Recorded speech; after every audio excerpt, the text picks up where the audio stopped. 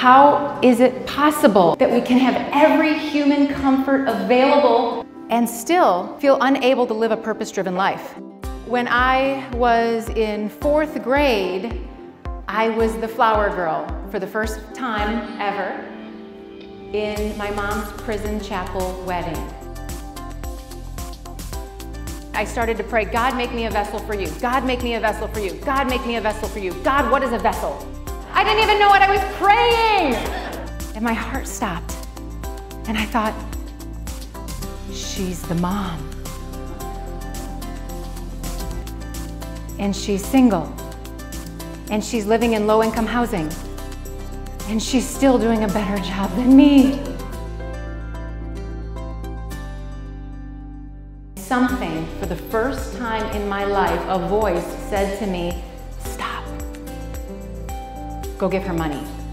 I handed her the money, and she started to cry. And she threw her arms around me, and she said, Thank you. Thank you. I had a high unlike anything I could have ever gotten from any other bad decision in life. I thought to myself, if I could just convince other people what this felt like, they would all want to try it. Kindness would be contagious. I said, this is what I want to write about. I want to write about kindness and how good it feels. And I want people to send in their letters and I want them to tell me about a time they were kind and the exhilaration it gave them or a time they received kindness when they needed it most. A massive transformation happened in my life.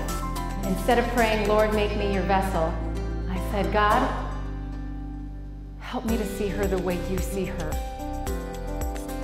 Kindness isn't about the person that you're helping, that you gave money to. Kindness is about what it's going to do in your life. I was usually pretty good at breast cancer, but there were those days that I woke up and I felt deflated, I felt uh, depressed, and I don't know what that looks like in you, but in me, that looks like anger. Those were the days that I used kindness as chemotherapy. Those were the days that I went out and intentionally did something I didn't feel like doing because I knew it would reroute my day. Kindness is your avenue out of the pain and into that secret passageway where God is waiting to bless you as you bless others. If you don't see the results of your kindness, please know from somebody who's been the recipient of a lot of it that it matters. Your kindness matters.